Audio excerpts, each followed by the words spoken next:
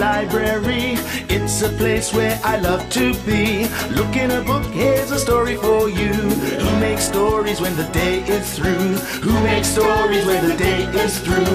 Story makers, story makers, working through the night till the rising sun.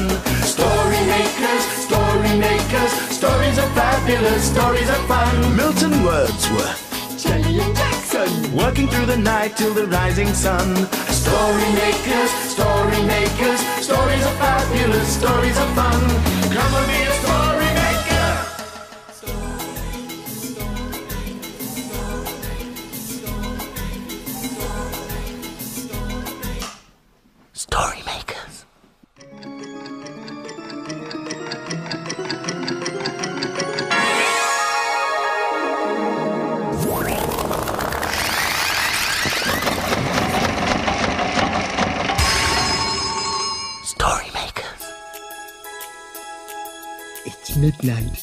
Hello.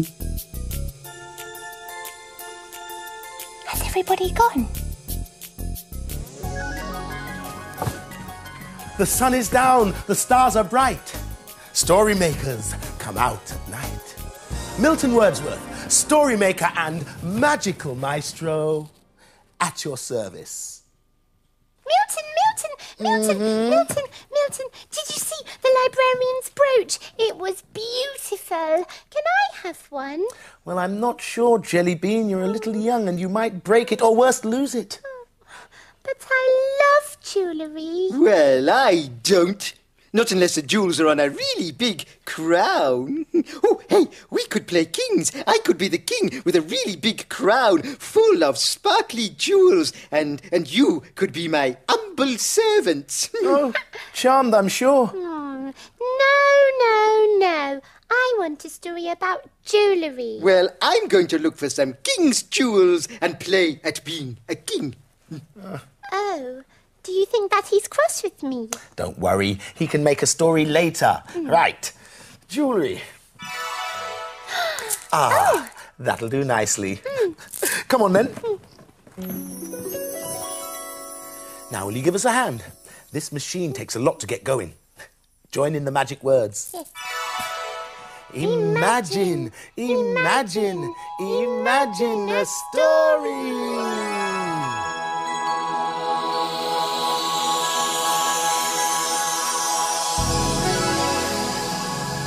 Oh, it's a playbook. Kings and queens.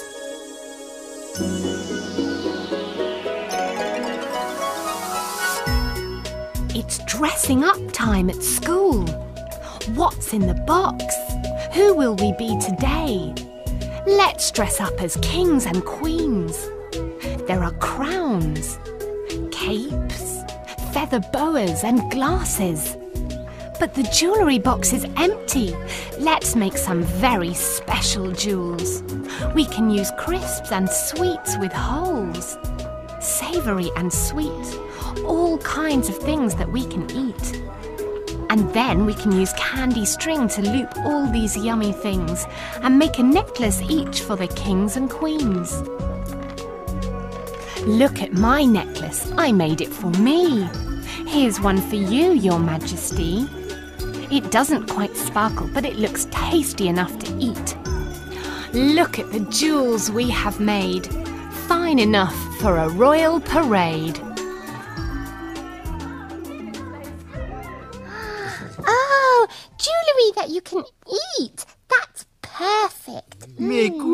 For King Jackson. I am the King of Jackson, and I rule Jacksonland. Look, I found these clothes and jewels in the dressing up box. They're good, aren't they? Hmm. C- can I be your queen so I can wear some of those jewels too? No, there's no jewels left. Oh, uh, you can have this, I suppose. Um, what is it? Well, it looks like a belt to me. Yes, and me. well, I was going to use it for another story, but uh, you can wear it if you like, Jelly. Oh, no thanks. It looks a bit big. Let's make a story. Very well. Uh, King Jackson, may I? By all means.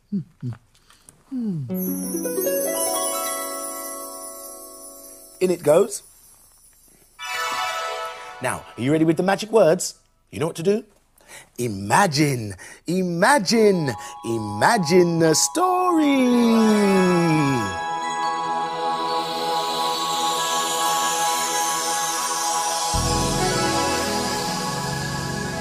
It's a tale from far away. And it's called The King's Belt. One morning, Rabbit found a tasty carrot in the king's garden. She took great care to eat it quietly, because nearby lay a sleeping cobra. The rabbit was so busy eating the carrot and watching the cobra that she did not notice the tiger creep up behind her.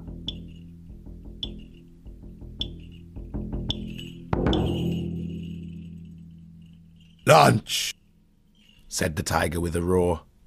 It's true, you have caught me, but if you eat me, the king will be very angry with you, and you know what that means. Really? replied the tiger. Tell me why. You see, said the clever rabbit, a herd of elephants passed by and trampled all over the king's favorite flowers. The king found me here when he arrived and blamed me. As a punishment, he left me his precious magical belt to guard over. Where is this belt? asked the tiger. Over here, replied the rabbit, pointing to the sleeping snake. When the tiger saw the belt, he wanted it for himself. This belt is magical, you say? The most magical belt in the world, said the clever rabbit. Sometimes it can move all by itself. I want to wear it, Tiger exclaimed. When the tiger wasn't looking, Rabbit hopped off and hid behind a bush. She watched as the snake wrapped itself around the tiger. It was a much tighter fit than the tiger expected. Oh, that rabbit was clever, wasn't it? Well, naturally. He was probably taught by the king. Hmm. Uh, now then, you two, being a king is very tiring, so I'm going to put my feet up and read my comic. Uh, uh, my king's book. oh, he's funny, isn't he? Mm, but, but, but Milton, I, I do really, really want some jewellery. Mm. Mm. Now then. Oh, I know. oh, that's pretty. Oh, but I don't see how I can wear it as jewellery. Mm, or I suppose I could wear it as a brooch. Mm. Will this do, madam? Oh, it's beautiful, Milton. Thank you. Oh, but um, why don't we use that flower to make a story? Why, of course. Come on. Okay. In it goes. Now, my petals, it's time to use your imagination. Yes, I'm going to think about a big long necklace like this one. Will you help? Mm. Ready? Yes. Imagine, imagine, imagine a story.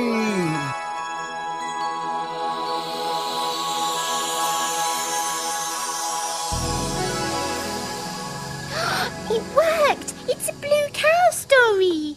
Correct. Blue cow goes to Hawaii.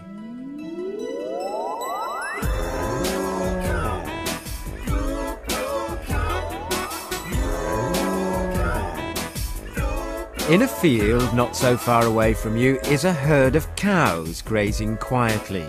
They munch and chew on the lush green grass and are just like any other cows you could find. But one of the cows is different from the rest. Blue Cow wonders, wonders what on earth is out there in the big wide world beyond her field. One day, Blue Cow was looking at the flowers. I wonder what it would be like to wear flowers. The other cows sighed and shook their heads. She's off again. I wonder, said Blue Cow. Well, I'll never know unless I go. So Blue Cow caught the bus that stops beside her field. I'd like a ticket to a place where I can wear flowers, please. There you go, madam. Hold very tight. And they set off for Hawaii.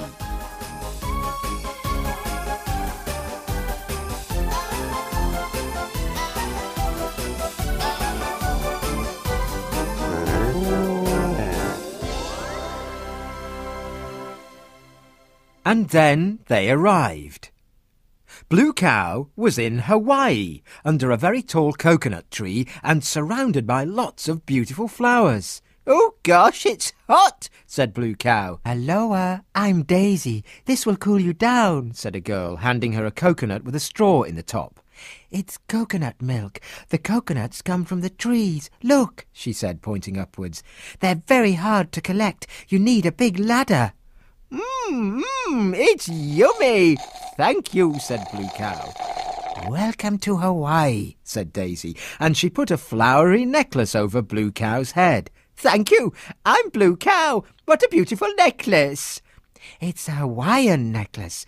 Would you like to try some traditional dancing? Oh, yes, please, said Blue Cow. So Daisy gave her a skirt made out of long pieces of grass and a crown of flowers to wear on her head.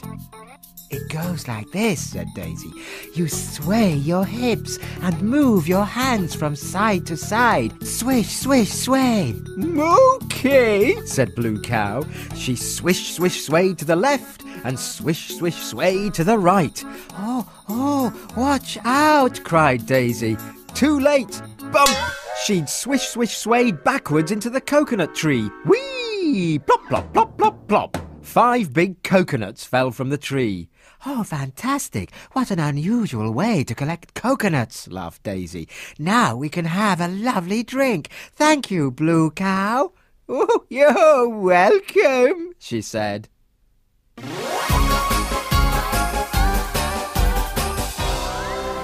You'll never guess where I've been. Where have you been? I've been to Hawaii, where I swish, swish, sway. Everyone knows cows can't go to Hawaii.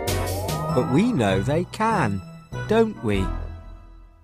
Uh, King Jackson, how was your rest? Oh, very nice, thank you. I'm still a bit sleepy, but I did enjoy being king. I'm just glad that you're back to Jackson now. Oh, look, it's almost day. oh, it's time that the story makers were hidden away. The dawn is upon us. The morning is nigh. We've made our stories, and we bid you goodbye. Bye bye. Story makers, story makers, working through the night till the rising sun. Story makers, story makers, stories are fabulous. Thanks Stories for are fun. helping. Bye, story makers. See you again soon.